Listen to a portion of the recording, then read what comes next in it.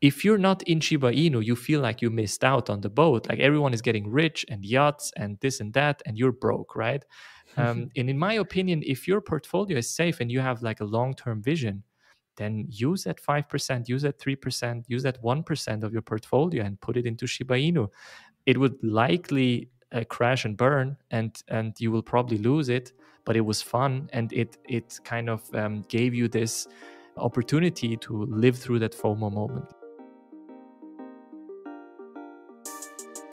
Good morning and welcome to DeFire, the podcast that gives me the carte blanche to ask the smartest girls and boys in the world of crypto the questions for us, the often overlooked mid IQ bell curve people.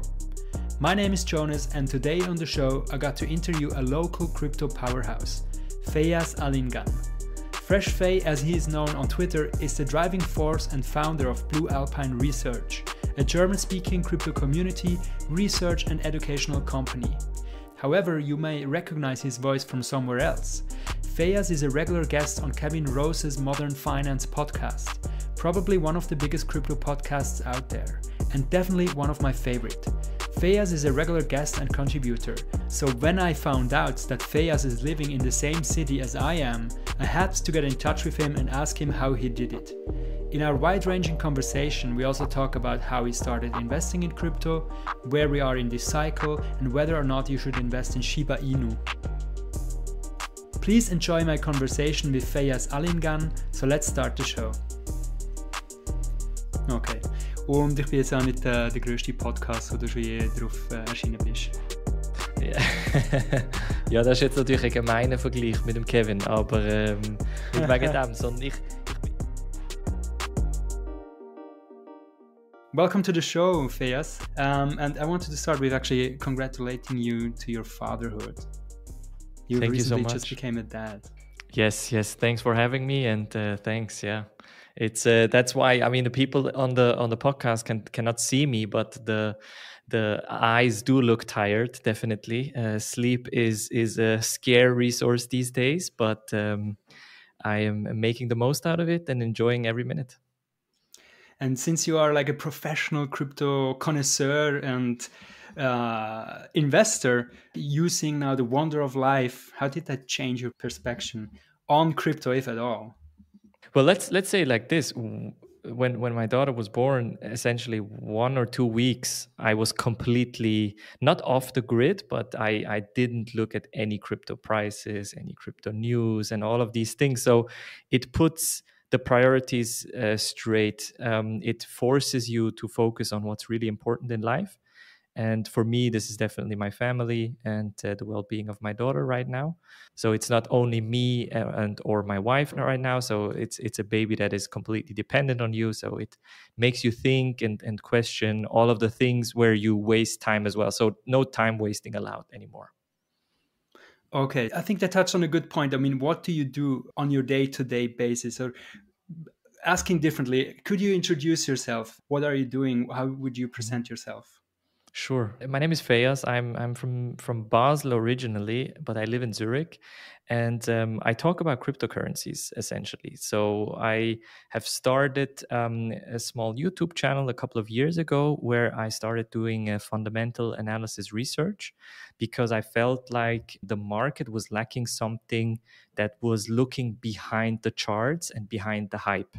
So for me, it was always a goal to, uh, on, on a very authentic and transparent level, uh, introduce people to cryptocurrencies, to this new investable asset, um, to to different topics like DeFi and NFTs, and um, just explain them kind of what it really is, how it works, and whether um, it is investable or not. And of course, sometimes there are some hypes uh, where the prices go up and and so on and so forth. And through that idea, um, Blue Alpine Research was born. So the main component was always a research element. Previously, this was in written format. Nowadays, it's more videos that I'm doing for the YouTube channel. Um, as well as an online course to introduce people from A to Z, for example, to DeFi, um, as well as a community so right now i have a community and and by the way this is all done in german so for the german speaking countries so originally i started in english but realized that there was higher demand in the german speaking space. So i switched completely to german. So my entire content is in german these days. And um, besides doing the videos i also do a daily podcast summarizing crypto news every day um, between five to ten minutes. And um, trying to really uh, bring value to my community, to my subscribers, to my followers, to my email list, and, and so on and so forth, and try to give them a perspective that, in my opinion, is still lacking in this space. Mm-hmm. You, you, are living in the same city as I am. Um, we are both living in Zurich. We have never met in real life. Mm-hmm. And the interesting thing is, and I have to confess that uh, a friend of mine once sent me, um, I think, an ad on on on Instagram with a like a, a, webinar that you did with Swissquote, which is like a Swiss company where you can buy and sell crypto, but also shares. Mm-hmm. And I was kind of dismissing it. Ah, I mean, what can I learn from from this person? Uh, it's kind of introduction into, you know, Bitcoin, Ethereum, um, crypto, uh, and didn't really look into it. And then I started to listening to that podcast by Kevin Rose, um, who is a huge character in the US. He's like a very well known uh, investor, entrepreneur, and recently really started to get big into crypto as well, or or maybe since a long time actually. And you mm-hmm. are a guest there on on that uh, podcast, or not not just a guest. You you are a regular contributor. Mm-hmm. Tell me the story. How does, did that happen? That I find that super fascinating.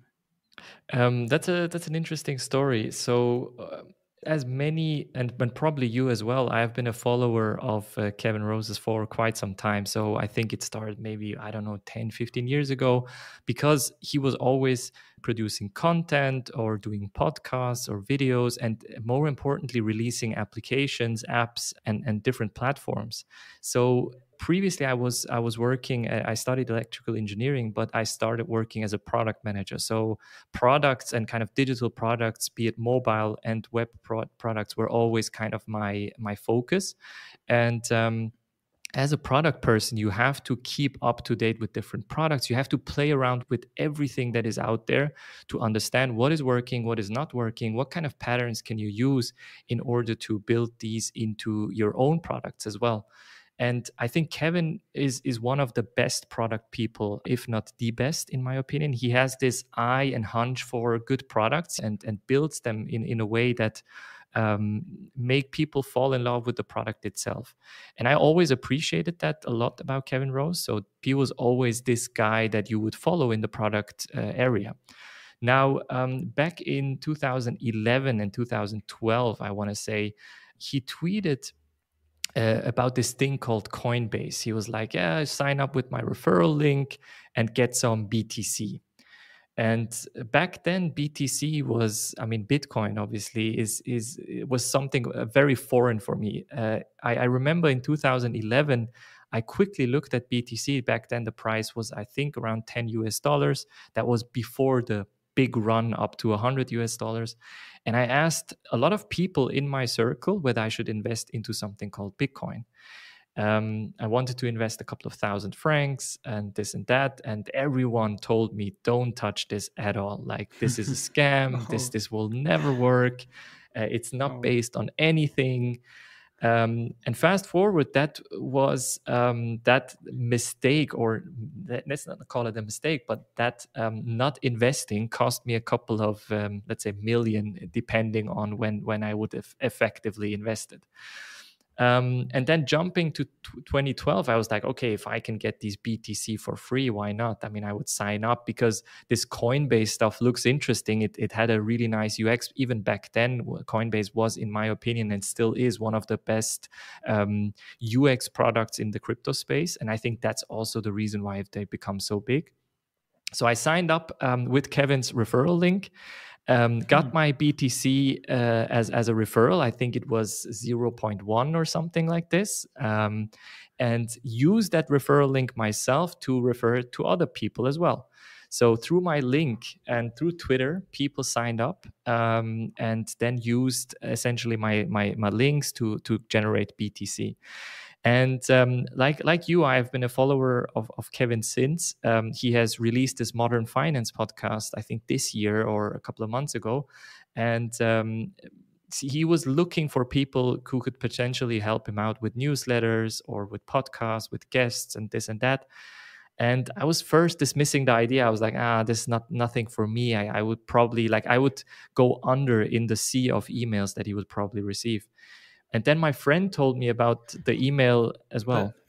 Uh, yeah. A quick question. So, how did you know that he was looking for people? Did he just tweet out, "Hey, I'm looking for someone" to his 1.5 million Twitter followers? He's, no, he sent out an email. he sent out an email saying, um, "Would you like to help me out with modern finance?" And then he said, "I'm looking for this and I'm looking for that." Essentially, so it was a. I was signed up for the newsletter as well, and um, and by the way, guys, this is this is such an important part. Like I said, try out all the products, sign up for all the newsletters, follow the people that you like on Twitter, and then just follow them and follow up with them as well. I think this is super important if you want to get ahead in, in specific industries and so on. Hmm. Um, so I emailed him after my friend told me about this opportunity as well, because I was like, it would be stupid of me not to try. So let's mm-hmm. just try it. I, I, needed a catchy subject line, and I, I wrote him thanks for BTC in 2012 that was the subject line and i think uh, this got him to to open open the subject line. I explained to him that he was essentially the reason why i started in crypto because that btc that i got was the base for my portfolio today. That 0.1 that you got uh, when you signed up and then when you uh, earned more bitcoin by other people kind of signing up through your uh, exactly. uh, referral link. Yeah exactly just because to have an idea how, how much back in the days when i mean you have now one 1600 followers or something like that. And in 2012 i don't know how many you had but how many people do you bo- onboard? Not not a lot not a lot maybe 10 or something. Uh, maybe it was 8 or 10 people. It wasn't a lot. And the thing is you hmm. wouldn't mm. get uh, the btc for every sign up some people clicked on the link but not everyone signed up. So essentially um, i lost some people in the conversion there but it's all good because I took this um, small BTC amount, and then in 2016, when I saw Ethereum, I was like, I'm not going to miss the boat again because in the meantime, Bitcoin made this crazy jump and back down and so on and so forth. So I saw Ethereum at 12 US dollars, and then that's when I pulled the trigger. And like I said, this was kind of the shifting of the portfolio from BTC to ETH in, in 2016 to then participate in 2017 from the, let's say, the ICO boom. Wow. And did you um now we're maybe a little bit off track because we're already going kind of in into prices and stuff, but just wondering because I, I I started at the same time 2016 around ten dollars uh, average buying price with Ethereum.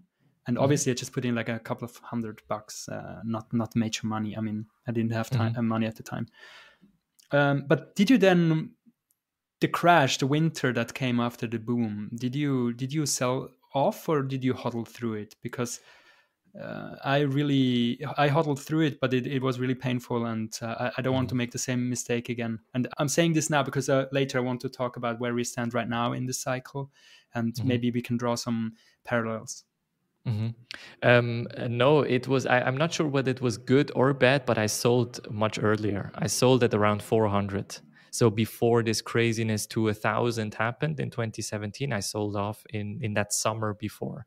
So that was mm-hmm. kind of my first because I felt like this was such a good performance and I needed some cash, so I sold that part as well. Um, so that that's where where I cashed it in, to be honest. Um, mm-hmm. And then, unfortunately, and looking back, this was obviously a mistake, but unfortunately, I had to um, participate with a much much smaller amount in the 2017 craziness that was going on. So I had to kind of rebuild uh, the portfolio from there. Mm-hmm. Yeah. Okay. So, so that's the Kevin Rose story. That's interesting. So basically, just don't be mm-hmm. shy. Apply. Um, reach out to the, your idols. Talk to people.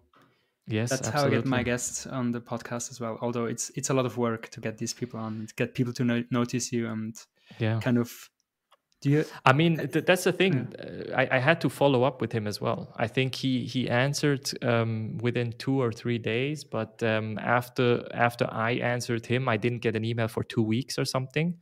And mm-hmm. I thought this was the last opportunity. Essentially, he liked the message. He wanted to have a quick call to s- sit down to kind of understand where we are both.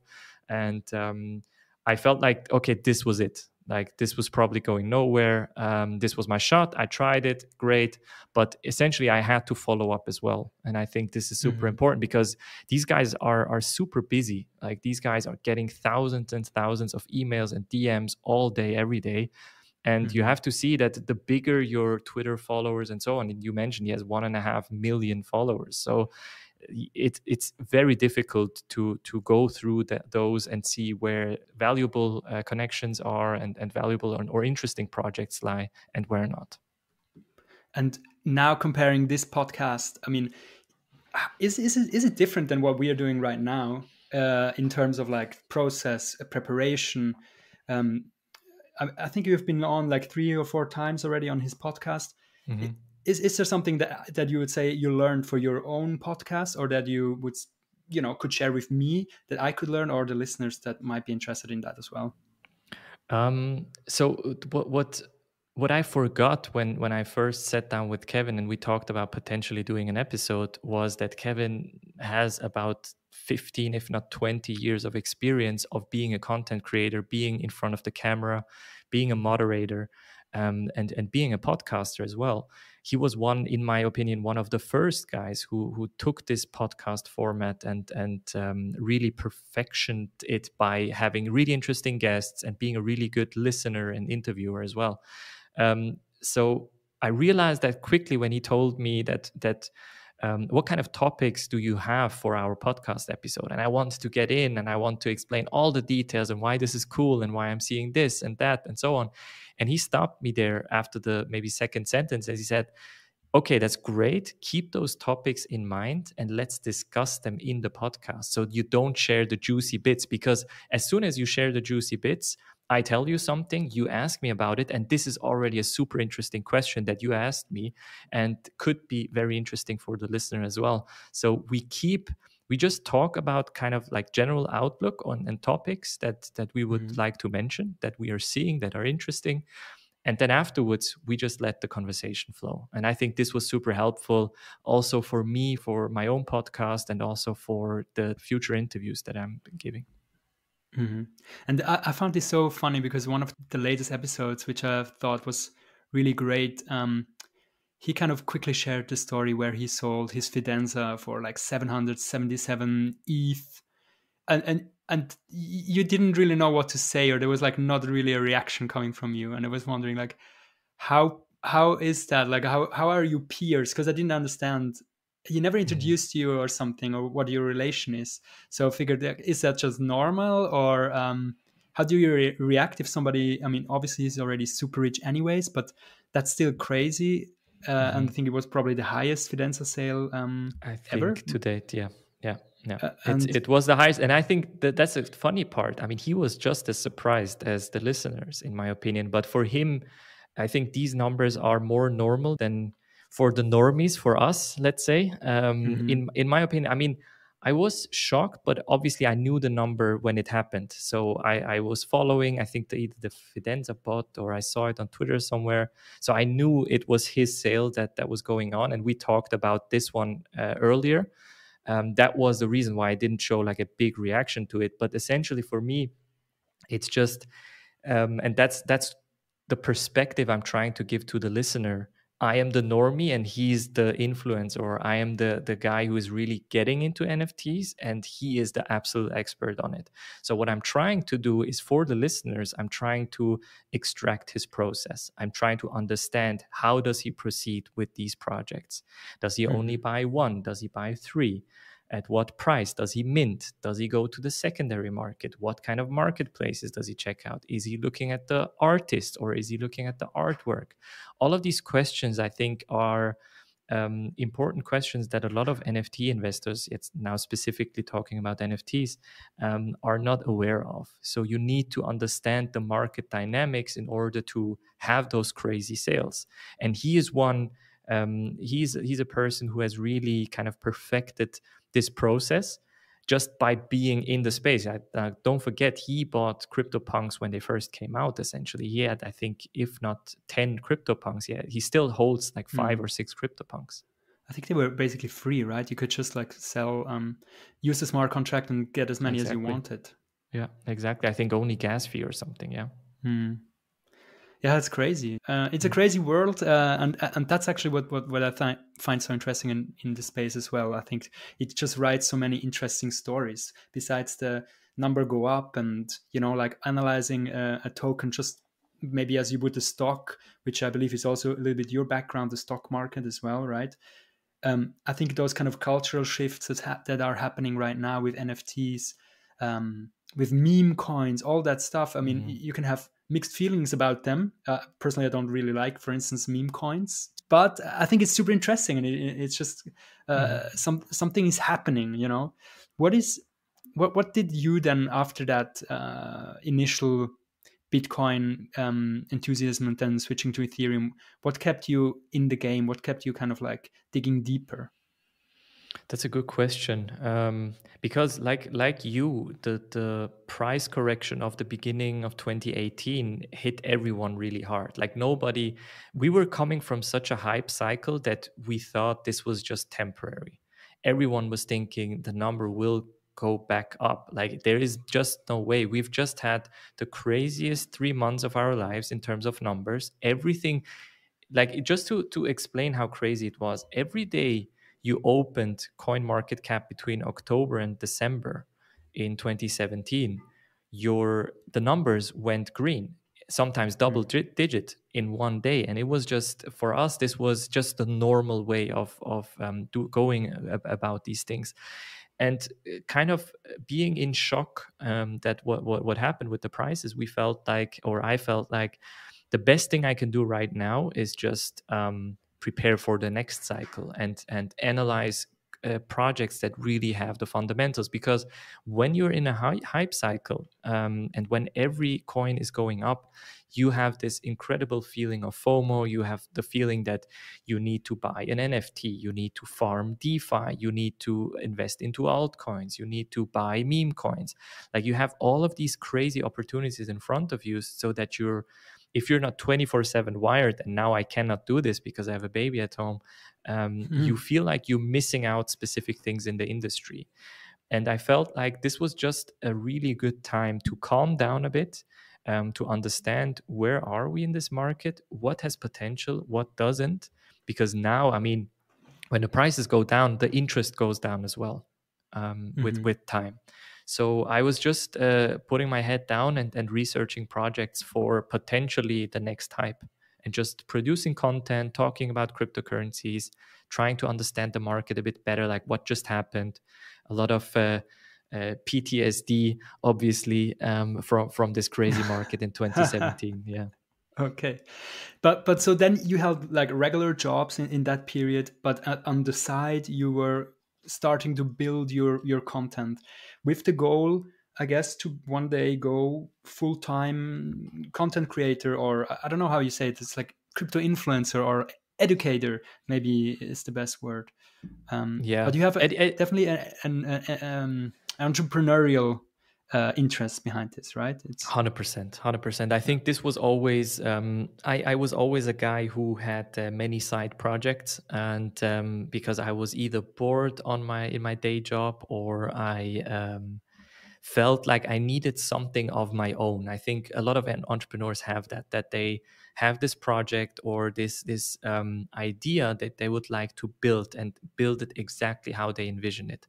And for me, um, Blue Alpine Research was exactly that because in um, in t- 2007 I wrote a high school um, paper, if you want to call it. It's called Matura Arbeit. So it's like the finishing paper that you write for finishing high school.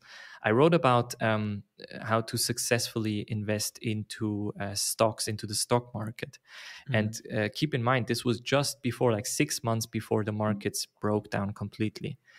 And mm-hmm. um, since then, I've I've played around with that idea of um, being able to analyze stocks and and see uh, specific opportunities in the markets. This was always super interesting for me. Although I was always working in technology startups and in technology companies, the finance market had this weird appeal.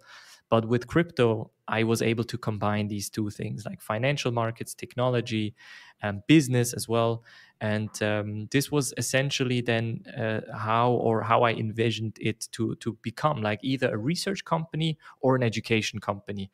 And luckily, I am in a position now to do both, um, to do both an, an analysis um, on a, on a weekly basis, also for some private companies as well, as well as do education in terms of um, educating people and teaching people about these topics. Mm-hmm. I think and think that's um, also the way you talk, you know, and uh, your, your podcast, your, your your way of being is this like calm, analyzing um, person that doesn't really believe in in hypes too much or, or that looks at it with a critical eye. Um, and I think that's also reflected in the name Blue Alpine Research. Mm. Uh, but now what I th- think is super interesting and probably you didn't know it back then when I started that company or this project that the world is you know um, the influencers are absolutely crazy go full manga uh, post controversial stuff it's all about mm-hmm. um, memes um, it's this more informal way of communicating mm-hmm. online um, mm-hmm. how how do you do you have a little bit of this uh, and they call themselves degenerates the degen do you have a little bit of this degen soul in you as well that's, I mean, that's that's an interesting one. I would say the degens in the crypto world and the crypto influencers are two different personalities. So, the the degen, which I know and you know from the DeFi world, is just or from the altcoin world, is uh, so-called aping into projects and just blindly buying stuff in hopes that it will go up. Um, from time to time, I do have that. Obviously, I have a community, and people ask me, should I buy this meme coin? Should I put uh, X amount into Y? And for me, it's always look, are your bases covered? Is your portfolio safe? Uh, is like 99% or 95% of your money in assets where you can sleep um, at night without like being super worried? And if the answer is yes, I don't see a problem with gambling. And it is gambling. I mean, the, being the, the, a degen or aping into projects is nothing nothing else than than gambling. Let's be honest here. Mm. Um, and then gambling, this part, this little part, in my opinion, is okay because you can also combat FOMO a bit as well. I mean, for example, Shiba Inu. Mm-hmm. Um, at this day and age, everyone is talking about Shiba Inu. The market yesterday was completely red. Shiba Inu was literally the only coin that went up double digits. Um, now, if you're not in Shiba Inu, you feel like you missed out on the boat. Like everyone is getting rich and yachts and this and that, and you're broke, right? um, and in my opinion, if your portfolio is safe and you have like a long term vision, then use that 5%, use that 3%, use that 1% of your portfolio and put it into Shiba Inu. It would likely uh, crash and burn and and you will probably lose it, but it was fun and it it kind of um, gave you this uh, opportunity to to live through that FOMO moment. Let's say. Mm-hmm. Yeah, yeah. I mean, I maybe I'm, I'm also in the process of looking at it a little bit differently. Um, but I kind of had a resentment against mm-hmm. kind of those coins mm-hmm. because I feel like they reflect badly on the whole market. If there's like a meme coin in, that is 35 billion you know, with market cap of 35 billion, which is like a, a meme coin of a meme coin, which is the ERC 20 token, 20, right? I think. Yes. Yeah. So it's like built on top of Ethereum, and it's just a coin that doesn't really have a utility. Mm-hmm. I don't know. I just I, I always thought that ah that's like that's like a sign for me to get out, and um, uh, maybe uh, uh it would be interesting now to talk about where do you see where we are in in the moment because I'm thinking more and more about selling uh, and as a long time hodler since 2016 mm-hmm.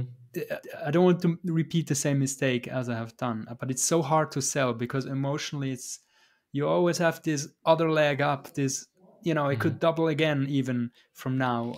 Um, so do, do you, you have the feeling do you have the feeling of exiting all the markets and then just turning your back to the crypto market is that kind of the feeling that you have because sometimes i do have that when i see mm-hmm. and you you asked about crypto influences as well sometimes i when i see the, these other content creators I feel like, man, I'm in the same pot as these guys.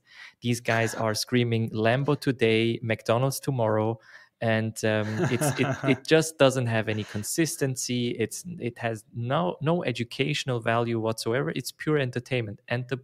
worst thing is these guys are luring people into their affiliate links or into different platforms and um, making money off of them or off of their trading inexperiences. Mm-hmm. And this was for me always kind of a reason why I felt like, man, this market is going crazy. And this Shiba Inu stuff, for me, it's it goes into a, a, similar direction but i would love to hear your opinion. Are you thinking about like exiting everything or just saying well i'll take out the majority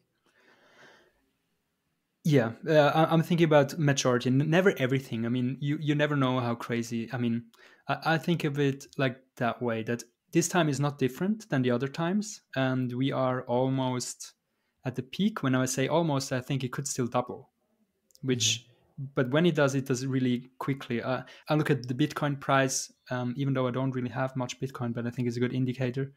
And if it goes to 90K, I would definitely sell like 70, 80% of all my stuff. Mm-hmm. And then I would keep the rest because you never know if there's like a super cycle, right? I mean, it could be. Mm-hmm. Mm-hmm. This time could be different. Um, but then I would just go back in after it crashed. And when everything died down and everybody is a little bit more um, down to earth, then I would just enter again because I want to stay in the space and I want to continue on these podcast episodes. And mm-hmm. yeah, it's a fun space and it will grow. We will continue mm-hmm. to grow. I mean, I believe in the space, but just in the cycle, I feel we might be close to uh, a top again. Um, mm-hmm. But I'm mm-hmm. I'm not sure to be honest. I mean, I, I doubt myself all the time. Yeah, it's interesting. I mean, I, I'm also not sure. That the, the thing is, when people ask me, "Yeah, should I exit the market?" and and you know, it, this is a top signal, and everyone is in meme coins and this and that. My question is always, okay, exit into what? If mm. you cannot answer this question, because I mean, look at the stock market. The stock market is just as crazy. Yeah, the numbers are a bit lower, but comparing revenue numbers and profit numbers to company valuations is still very crazy. So mm. and and same with real estate. I'm not a real estate expert but from my understanding real estate prices are super high. Um, and i'm definitely not going to invest into gold or anything. So i mean not not a big amount at least. So i don't see kind of an alternative um, and of course if you hold cash you're excuse me you're dumb right? Like everyone throws this at you saying oh yeah but inflation will eat up your money um, which I don't always agree with. It just gives you flexibility to move into into different opportunities. But um, that's kind of when in, in this crypto space, it's 24 7 and you're getting bombarded with different messages 24 7. Super cycle today. Tomorrow is we're all going to be broke again and nobody's going to make it and this and that and we're done and super cycle is over three three year bear market starting right now so it's very mm-hmm. difficult for people to really differentiate and understand where we are in the cycle. So even like what happened yesterday, there was a correction, but a meme coin went up. Is this and this is usually not a top signal. The the top mm-hmm. signal is usually when everything goes up, but the meme coins go up as well. So it's it's mm-hmm. very difficult to to estimate where we are in the market. But the question is again, where do we exit to if we want to mm-hmm. exit?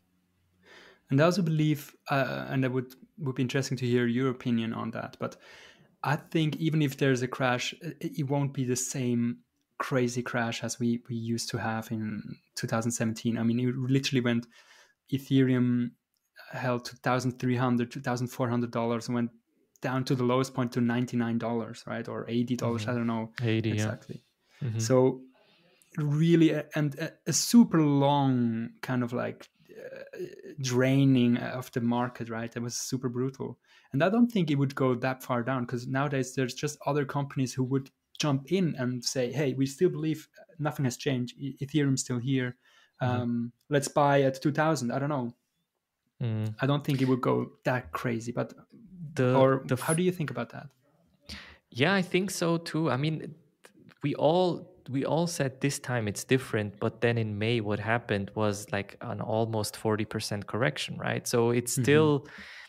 it's still scary. I think it's. I mean, to be honest, and and we discussed this with Kevin on the podcast as well. If this is your first rodeo, if you invested beginning of May by the end of May, you were looking at a portfolio that was deep in the red and you were really, really scared.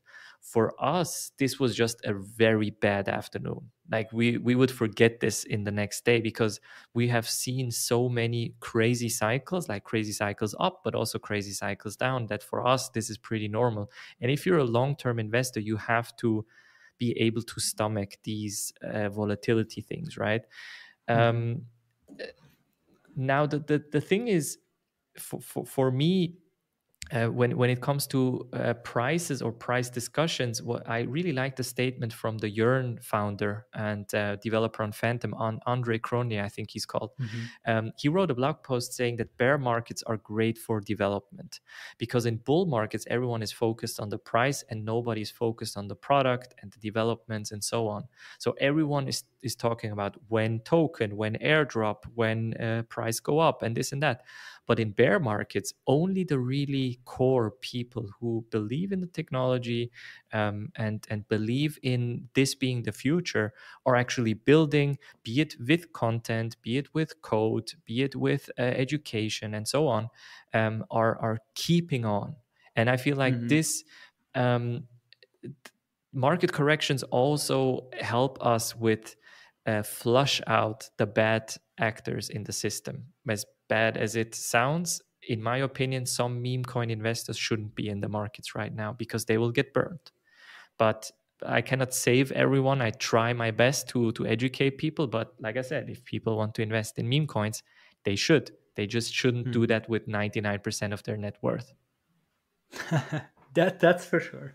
That's mm. clear. And uh, um, I agree with you that that maybe there is a, a way of investing smartly in them because the upside is crazy. I mean, the Shinu Ibu, if if you would have been in that, right? I mean, that's probably the best performing asset in the world. Maybe after Bitcoin, uh, I heard like, I don't know, if you invest like one thousand, people have made billions, which is absolutely crazy, but nobody holds mm-hmm. that long. I I mean, I can tell you a Shiba Inu story that that keeps me sometimes up at night. Um, okay. so a friend of a friend, I don't know him personally, but it's a very good friend. So I believe in in what he says, and he showed me the wallet, etc. His friend bought Shiba Inu, I think, at the beginning of the year, either January or February. I'm not completely sure.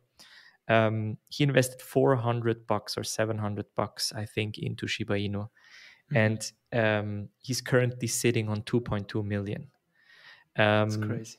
This is, and my friend showed me another wallet of a guy investing a couple of bucks or maybe I think 8,000 and he's sitting on 5.3 billion US dollars right now. Um, this is arguably probably the can you yeah you 5.3 billion without exactly that that was my next question but i can tell you that the guy who sits on 2.2 million already took out 1.3 so he already cashed out without the market like going crazy. And I'm I'm sometimes and people have to understand this. We're sitting here analyzing coins, talking to influencers, understanding protocols, and really spending time educating people and understanding the markets. And somebody's coming and buying $400 worth of meme coins and making seven figures in what, in three months, in six months, something like this. This is the market craziness we're in. Now, um, do I resent this in any kind of way? Sometimes I, I see it very similar to you, as in it can give the, the industry a bad rep. And, and I think mm. this is the main issue because exactly these people who didn't cash out when they had so much money, but crashed and burned and lost their savings or their rent money or this and that will be the people saying that crypto is a scam and mm-hmm. this for me is is a huge problem because um, we're spending so much time educating people and trying to see behind the scenes behind the people behind the protocols and all of these things And um, this hype is happening next to us. Some people are getting crazy rich, some people are losing a lot of money. And um, all of the work we have done is essentially then done for nothing. If you look at it from a negative perspective, I try to look at things in a positive way, an optimistic way, but this is the market we're in. At the same mm-hmm. time, it is a market where, with an investment of um, I mean, I, I remember when, when we talked with Kevin about the Fidenzas, the Fidenza price was about four to five Ethereum. That back mm. then, I think, was around ten to twelve thousand US dollars. Yeah. And just as a reminder, the Fidenza is an NFT project, which is like a beautiful artwork, uh, algorithmically done. Um, kind of these stripes and dots. No, mm-hmm. ma- more mainly shaped stripes. Yeah, it's it's very beautiful. I, I like it a lot. Yeah, sorry. And literally, this is what I said in the podcast. I said, look, I don't understand a lot of the generative art in the NFT space, but this is looking really nice. This is something I would hang up on my wall if um, I would have a Fidenza. I looked at the Fidenza. I didn't buy um, because I, I felt like it was crazy to spend 10,000 US dollars on an NFT that was generatively produced.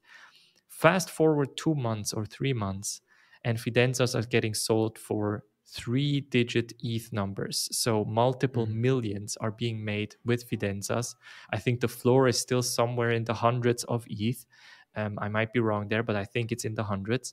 And um, so you could have made a million out of 10,000 US dollar. And the cool thing about this is where else, in what industry, do you have opportunities like this where you can learn, where you can make a huge mistake um, not buy in, but still have a ton of opportunities in front of you. And I don't know any other industry that gives you this.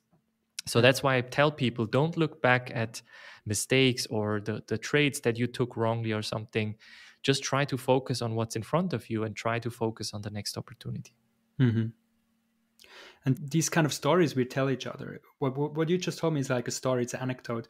I assume you're analyzing quite methodologically right? Those kind of projects. You maybe have a system that you, that you, that you use to analyze coins and nfts etc but mm-hmm. most people learn just by telling stories just as we did right now.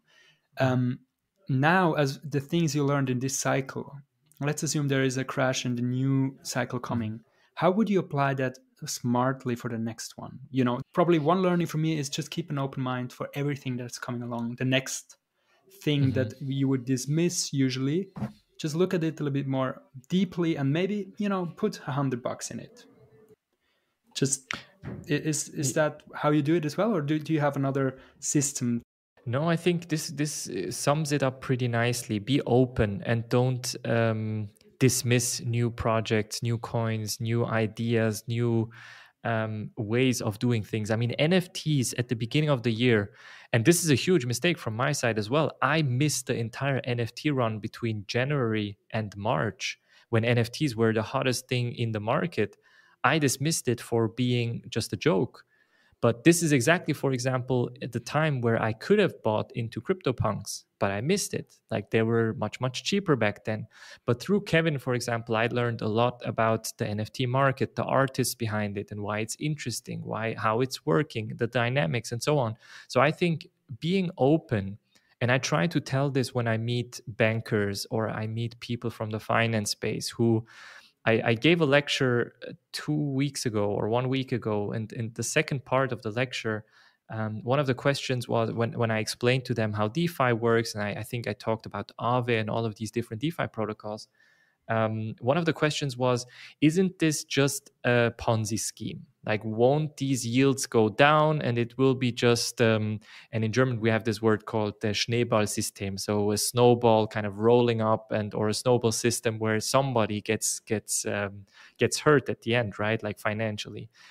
And for me this was just very indicative of how people look at this market and think like when you're trying to find a scam everywhere you miss so many opportunities because you are you have so such a strong doubt sensor that you miss the positive things as well. And i think this is a huge learning for me as well. Like i laughed at nfts in january but i made money with nfts in june. And this is thanks to me being open about the technology and not dismissing it in any way I mean, people still make jokes about NFTs saying, oh, right click, save. Okay, and now I have your NFT, haha, this, that. Yeah, mm-hmm. but um, you also don't do that with a Picasso. You don't own a Picasso by just right click and saving it. And so, why is this so different? Like, why wouldn't you spend 30 minutes trying to understand the technology, trying to understand the market dynamics, um, and and uh, profiting from it, like seeing an opportunity, maybe taking part. Um, it doesn't always have to be profit in terms of money, but also kind of being part of a community and understanding and building something versus just tearing down. I think this is this is super important. Hmm. And I think uh, what you just mentioned, the keyword community, is super it, it's just a, a, like a red line going through the whole um, crypto universe. When you think about it, like the L1's Bitcoin, um, it, is held up by a community of believers, uh, builders obviously, but also believers. Then Ethereum, and then stuff built on top of Ethereum or, or other L1s like um, NFTs. Mm-hmm. Uh, it's almost like um, when you buy a Bored Ape Yacht Club ape right? Which which I don't have, and uh, totally missed that boat as well, by the way. Um, then on Twitter, you are kind of in a in a club because you can show I am one of you, and people are obviously today are apparently willing to pay hundred k or something like that to be part of that club, to be part of this community.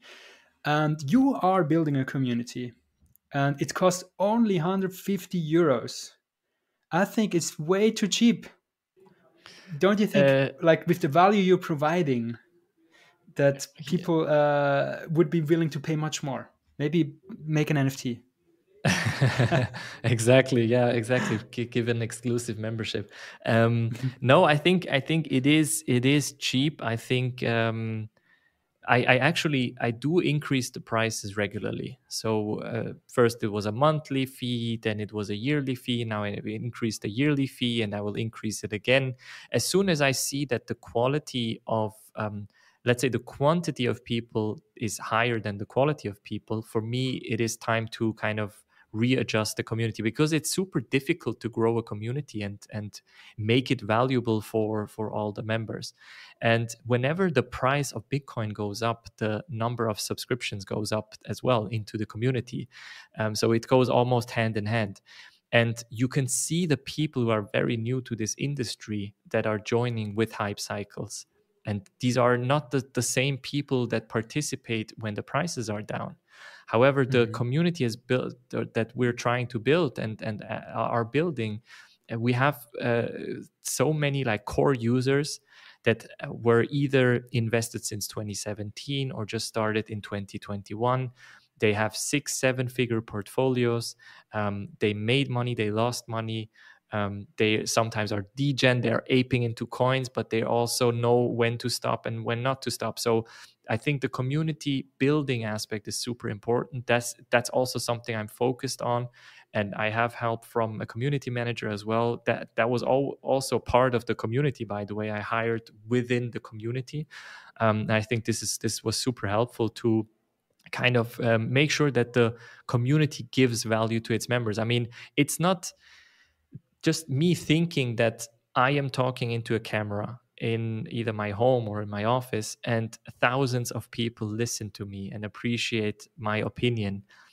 We always have to remember that this is uh, this is not the usual thing. Like when i talk to university students or when i think about giving a class in university i maybe teach 20 50 or 100 people at max I reach more people with my podcast or more people with my YouTube videos by doing a video and explaining something that I really enjoy. So for me, the community aspect is not um, it's not a given. Hence, why I don't want to have the entry price super high so that only the rich people can come in, uh, but rather that people who are interesting can provide interesting insights do come in. So there is a hurdle of a price, but it's not too high but it will be slowly increasing as well.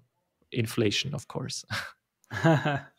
and what is it um, that you can expect in such a community? I'm not part of the community, but I know that there's, I think, a Discord where people can talk to each mm-hmm. other. Um, you have some I think the videos that you produce a coin, um, mm-hmm. anal- you know, anal- analyzing coins, but mm-hmm. these are available for everyone, I believe, right? Um, or uh, no, with a delay. So- so the system is that that on the public youtube channel and the podcast i analyze coins that are mostly well known so in the top 50 or top 100 in terms of market capitalization. So the youtube community is voting on a coin and i analyze it and this is kind of the the type of analysis i'm doing to introduce people to my style and my content and so on the paid community or the paid membership includes an access to a Discord group that has very uh, many different channels such as DeFi, NFTs, meme coins, hardware, investments, other investments, and so on, where um, people are pretty much around the clock are discussing different things, but are also asking a lot. So it's a more it's it's a lot of uh, also supportive community where you can ask stuff if you're unsure if you have a technical issue. For example what what we've experienced a lot is as well that people are getting uh, into different discord groups and telegram groups and some people dm and message them directly saying look um, we saw you have a support question. I can help you. Just share your screen or share your metamask details with me and i will help you. This is your typical yeah this is your typical discord telegram uh, scam, uh-huh. right? So yeah. people have asked in our Discord group, guys, I've been um, contacted by this and that person, looks like an admin. Is this okay to do? And immediately people jumped in and said, no, don't share anything. It's all good. We will help you. And then we help this person to secure their funds. So this this mm-hmm. is something that is really, really important for me that people can avoid scams as well. So this is the community part. And in the community part, um, what you also get is once a week, you get um, an analysis of a coin or a token that is super unknown. Can be sub 50 million market caps and can be sub uh, 5 million uh, dollar market cap. Maybe a super unknown coin that i'm observing. Maybe an nft project that i think is interesting. So there are paying a bit for this having this edge and these videos never make it to the public channel or to the public podcast so it's always this private group of people that are willing to invest, that are uh, looking to invest into different projects, but are aware that these projects sometimes are also a bit more riskier than having uh, invested into number four in, in terms of market capitalization. Mm. And you mentioned it before. You, you said some people have six figure, seven figure portfolios. How do, how do you know that? What how do you um, what kind of, or what are other kind of characteristics, demographics, uh, etc. Yeah, it's it's interesting. Um, mostly, it's older than you would expect. Um, I always expected people coming from YouTube or podcast are usually between twenty and thirty, or twenty and thirty-five. Maybe young professionals, maybe students as well, or maybe working people um, who are looking for for this mega investment for that next 100x but it's actually a bit older so usually it's between 40 and 50 years of age. They have invested into the financial markets they have a, a real estate portfolio sometimes and they read about bitcoin or crypto in the news and wanted to build like a, a more sophisticated view on the market to understand where they can invest and so on. So it's it's um, these type of people obviously we also have younger people but the majority is still older than you would expect um, in my opinion.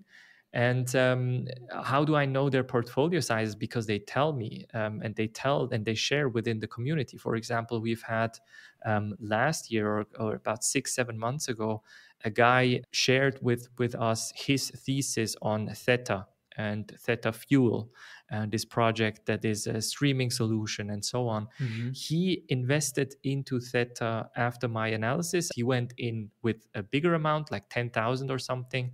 By the end of this crazy Theta run, and you remember Theta is, I think, the best performing coin of last year. Um, he was sitting on 1.6 million US dollars, I think, equivalent.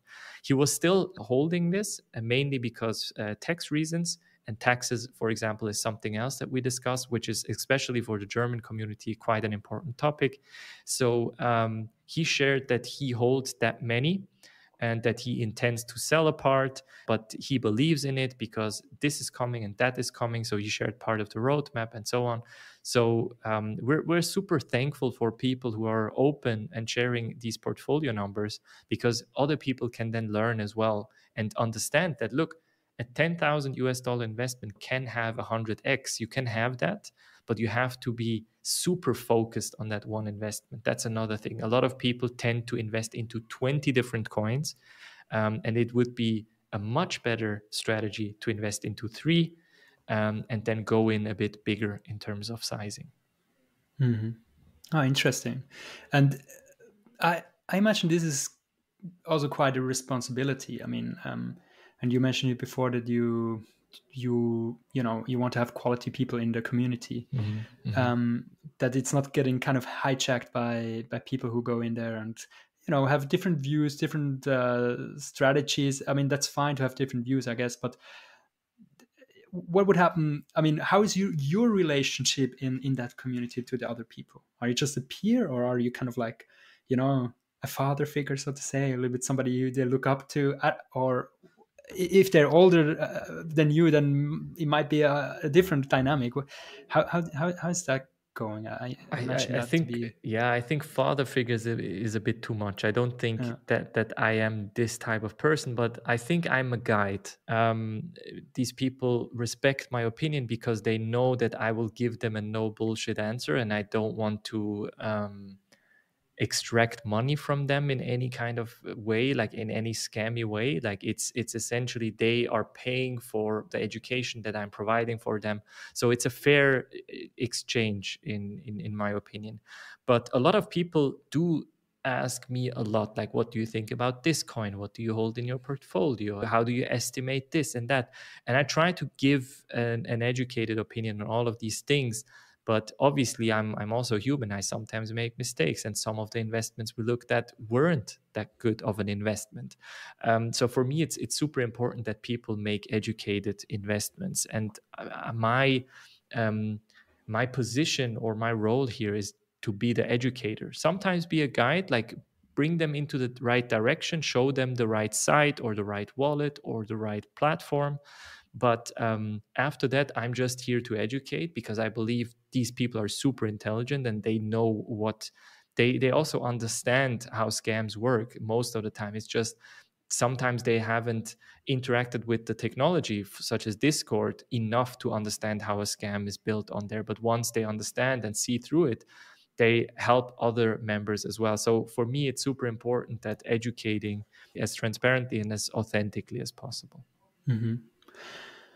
Um, you you know it the best. I mean, the the space, even if you have 24 hours um, or like you know a whole working week dedicated to it, it's just overwhelming. It's um, DeFi that, uh, DeFi on different chains, uh, NFTs, DAOs, um, I don't know, gaming uh, tokens. Um, mm.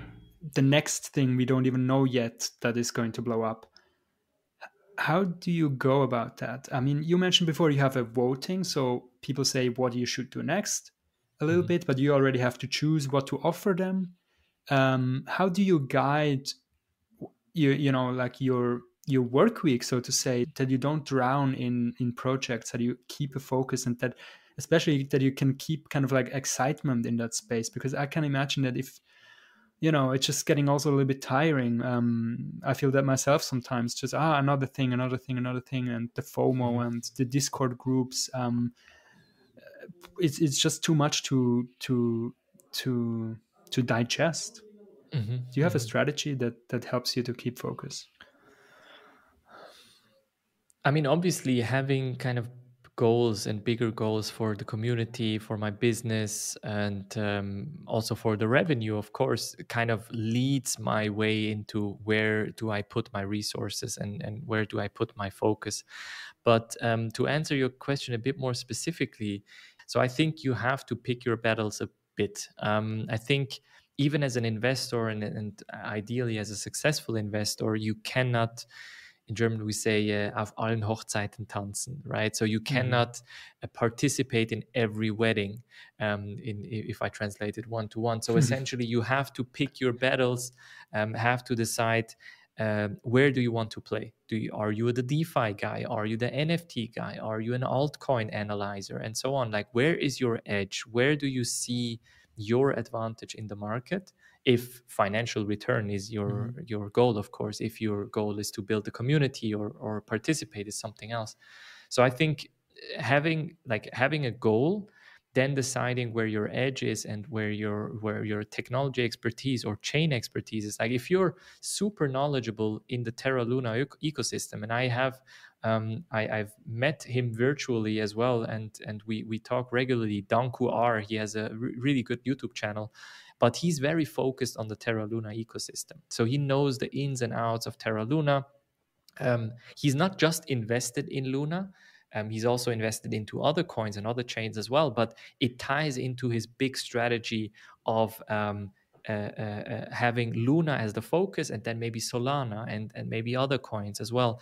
And I think how he approaches it is very good that he just, he is not the guy uh, that you would ask about generative art on the Ethereum chain, for example. Or he's mm-hmm. not the guy showing you which altcoin uh, on CoinMarketCap number 3000 and something could blow up in this area. He's just a guy who can tell you everything about the Terra Luna ecosystem with a very educated view.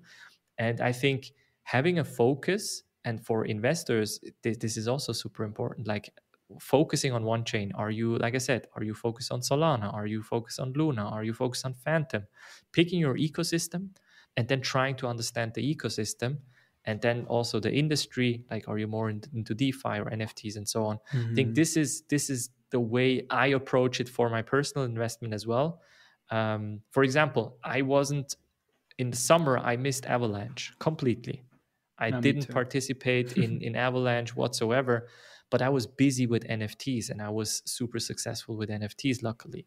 Um, so it's it's always opportunity cost, always opportunity cost, but ultimately you just have to know where your strengths are, and if you try to um, invest into Avalanche and into a successful NFT, you will just lose out on both ends. So ultimately, it it, it won't be as as helpful for mm-hmm. your portfolio, mm-hmm. let's say.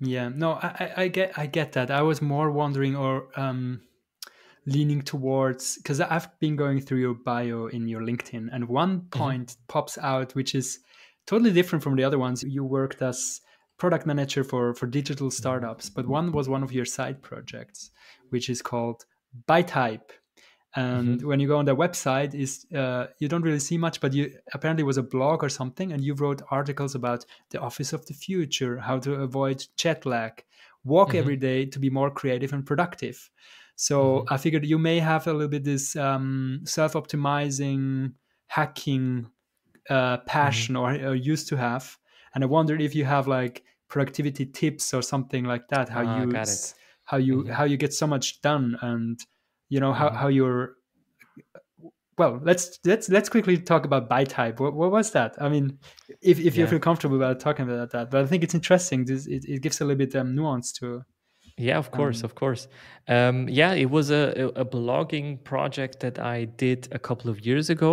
Essentially first writing about just health and fitness but then i realized i'm not really super health and fitness uh, focused but rather how to use health elements such as nutrition and exercise and so on and um, to be more productive at work or at your side job or whatever you want to do because what i realized uh, very early is if i want to build a side project into my main project or if i want to build a business or so on i need to have like extra energy because it's mm. like working 8 to 10 hours a day at the day job and then coming home and then working for another 2 to 4 hours at your side job it just it's super exhausting so you have to kind of understand where where your energy is coming from. Um, so fairly early i started really getting into health and, and fitness in general but also with the goal to be more productive. A big majority of that is diet and nutrition. So i try to eat mm-hmm. as healthy as possible about 80 or 90% of the time. So at 10% of the time i can um, have a cheat meal or eat a pizza or whatever. Um, that's one part. The other part is exercise, which um, I've been lacking the last four weeks now, I, okay. I, must be honest. But usually, what I do is, and this is also kind of a hack that I found out, is I wake up super early in the morning, like 5 or 6 a.m. in the morning, and I go for a walk. And at the end of the walk, there's this outdoor gym with like pull up bars and this and that. So I do my workout there and then I walk back. And during the, the walk, I have a backpack with weights in them so that the walk is a bit more um, how do you say tougher demanding. to do let's yeah. say. yeah. More demanding. And during that walk i listen to a podcast or an audiobook. During the mm-hmm. workout i listen to music. So it, it just helps me do multiple things at once. And then i come home at like 6.30 or 7 take a shower and then i'm ready for work. And the good thing is the most important part which is investing into myself or into my body is already done. So i can um, check mark this off. I have energy for the entire day um, so this is kind of one of the things I do. Meditation is another one uh, that's super important that I try to do as regularly as possible, which also helps a lot with the crypto space. I must say, like if you're if you're like me and you're living on Twitter and Discord and Telegram and and the the interwebs, um, you have this hmm. tendency to be overwhelmed with all of the things that goes on. And I think meditation is just a great way of um, defragmenting your brain and kind of uh, putting order into into a chaos. Mm, I totally agree. Uh, I, I I use that one as well from time to time just to to stay focused and to stay mm-hmm. calm in the sea of craziness. Mm-hmm, mm-hmm. Feyyaz, now it, it took Kevin Rose to connect us somehow Mm-hmm. What is the best way to connect with people who are already out there? Because there, there are people in Zurich, in Switzerland, that are really cool and interesting people in general. I feel like it is really tough right, right now because of COVID, but also, well, I don't know. Do, do you have do, do you have a good network here, um, or like uh, tips how to network in, in, in Zurich specifically? I mean I, I can maybe intro you to a partner at Trust Square. He he also knows a lot of people. Maybe he can he can help you as well. Um, but in general, man, I, I was always the the online kind of guy. I was always mm-hmm. the guy who would DM on Twitter or send an email. Like I remember, I got an email from um, Mark Cuban in 2011. Um, he, he, answered me. Yeah, yeah, yeah. So and and Jason Fried and so on and James Altucher and and all of these guys like I was always able to connect with these people quite easily but the important part is to respect their time I think this is mm-hmm. something mm-hmm. that a lot of people make uh, make a mistake of like if you start your uh, email with um, Hi, Jonas, I really like your podcast. Look, my story is this. And then you send them 10 paragraphs telling why you are so cool and so important. And then mm-hmm. at the mm-hmm. end, asking them, well, Jonas, would you would you come onto my podcast? This will get deleted and you will never get an answer. But just saying, hey, Jonas, I love what you're doing. My podcast is getting a gazillion downloads a day. Um, would you jump on next Thursday, 2 p.m.? Question mark. Mm-hmm and That's then you the follow way. up in yeah and then you follow up in a couple of months as well. And usually this this gets people um, to answer. Another thing that i always used and you can use this for essentially every every person is to have a hook with that person. So for example if that person just wrote a really interesting blog post or a podcast you can tell them for example hey kevin just listen to the podcast episode with dc investor. Really liked your take on fidenzas um, would you jump onto a podcast with me to talk Fidenza next mm-hmm. Tuesday, 2 p.m., something like this? I think this mm-hmm. could something very be specific. a way. Yeah. yeah. Yeah. Actionable, not uh, okay. Yeah. And where can people find you online or a call to action? What should people do? They they they listen to this podcast. I think this guy is cool. I want to be part of his community. I don't I don't speak German probably, or maybe I do. we can also have two call to actions for people who, who are German speakers and for other ones. Yeah, I think the best uh, way of of either following me and my ideas and projects is on Twitter at FreshFey. And if you're a German speaker, of course, bluealpineresearch.com or on a podcast, crypto podcast, or on YouTube, it's also crypto analysen. So um, if you're a German speaker, I would love to have you obviously in my community. Um, and if you're an English speaker, we'll probably see each other on the interwebs, on Twitter, and so on. Great. Thank you very much. Thanks for having me. If you're still listening, chances are that you liked this episode. DeFire is not just me, it's also you, the listener. And growing this podcast is seriously one of the toughest challenges I've ever undertaken. It's so hard to grow an audience. But each day, there are more listeners joining, and together we can spread the word about DeFire by giving it 5 stars on Apple Podcasts or wherever you are listening. Send this episode to a friend who might be interested. Check out the website, visit defire.money and click on subscribe to get the new episodes and in the future also blog posts directly into your inbox. Also make sure to follow me on Twitter at DeFireMoney. All of this helps so we can continue to produce more episodes more frequently and get the most interesting guests that you deserve. The music in this episode is from Young Cards and the signature sound is from Verified Picasso. Good night and see you soon.